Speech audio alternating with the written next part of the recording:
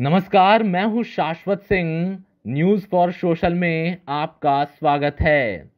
असम में इस बात की चर्चा अधिक थी कि राज्य सरकार को विवादास्पद नागरिकता संशोधन अधिनियम, वरिष्ठ राज्य मंत्री हेमंत विश्व शर्मा की तुलना में मेधावी छात्रों के लिए मोटरसाइकिल वितरित करने की योजना शुरू करेगी या नहीं। उन्होंने एआईयूडीएफ प्रमुख बदरुद्दीन अजमल पर भी निशाना साधते हुए कहा कि परफ्यूम बैरन एमपी असम का दुश्मन था। असम सरकार की उन छात्राओं को दोपहिया वाहन वितरित करने की योजना है, जो बारहवीं कक्षा की परीक्षा में प्रथम श्रेणी में सुरक्षित हैं। हेमंत विश्व शर्मा ने कहा कि युवा अब विचार कर रहे थे कि क्या सरकार उन्हें भी मोटरसाइकिल वितरित करने पर विचार करेगी। शर्मा ने कहा कि यही चर्चा का विषय है। हेमंत विश्व शर्मा ने कहा कि उन्होंने अजमल को राज्य का दुश्मन माना।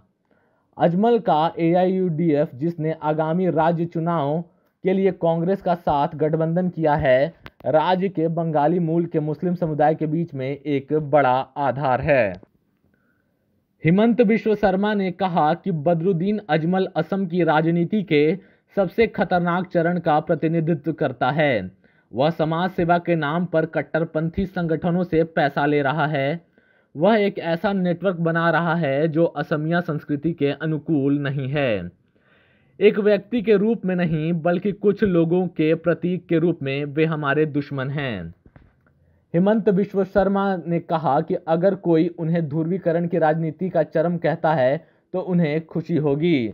मैं चरम पर खुश हूँ। मैं इस देश में भारतीय और असमिया संस्कृति की रक्षा में एक अतिवादी हूँ। अजमल कुछ करने की कोशिश कर रहा है जो असमिया संस्कृति के अलग है। शर्मा की टिप्पणी के कुछ हफ़्ते बाद उन्होंने कहा कि भाजपा को असम में बंगाली मूल के मुस्लिम समुदाय के वोटों की ज़रूरत नहीं थी। अक्सर राज्य चुनावों में सौ से अधिक सीट जीतने के लिए आमतौर पर मियाँ मुसलमानों के रूप में संदर्भित किया जाता है। असम में कांग्रेस नेता राहुल गांधी की रैली में शर्मा ने कहा कि यह क्षेत्र लगभग पंद्रह हज़ार लोगों को पकड़ सकता है। केवल पंद्रह हज़ार लोगों से मिलने के लिए राहुल गांधी जैसे लोकप्रिय, व्यस्त नेता को एक दिन बर्बाद नहीं करना चाहिए।